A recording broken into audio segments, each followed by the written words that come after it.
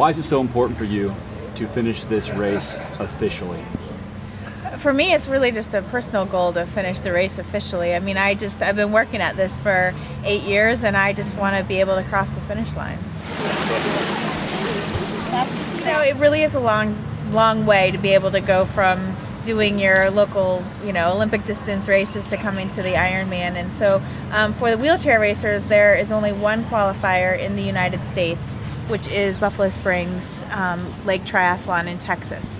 And so, um, go, by going to that race, you have to not only finish in first place, you have to finish under eight hours. Um, and in order to get a slot. And there's one slot for females in chairs. And this year I was fortunate enough to get first place and get that slot. And for you, this is just as mental as it is physical, isn't it? Right, it's definitely a mental game, but I mean, I think the Ironman is mental for anybody. I mean, when you're out there at, you know, 80, 90, 100 miles and all you want to do is be sitting on the couch, you know, I mean, it really becomes a mental sport. But um, for me, it's even more so because in the back of my mind, I have that nagging time cut, like, you know, they're saying, you know, you have to beat me in order to be able to go on and actually get to the run and to the finish line.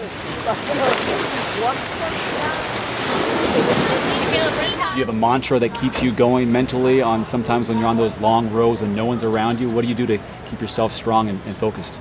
You know, I really have a lot of, I have probably have a million different mantras, but you know, the one that I use the most often is that it isn't over till it's over, you know, and you keep pedaling until that 10 and a half hour co- comes and you know, hopefully by the time it comes this time, I'll be back in transition. But you never know what's going to happen. You don't know if you're suddenly going to start feeling good or get a tailwind or what. So you just got to keep on pedaling no matter what happens.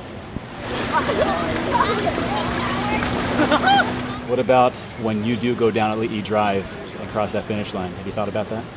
Oh, I think about it all the time. You know, when I cross the finish line, it'll be a pretty awesome thing. And I, I really feel this time that I have a great opportunity to do that. And I feel a lot more confident being here. I think when I was here in 2006, I was just really um, intimidated and um, I wasn't healthy at the time and I wasn't riding as fast as I needed to. And this time I feel like everything's falling into place. And so I really feel like I'm going to be able to cross the finish line this time.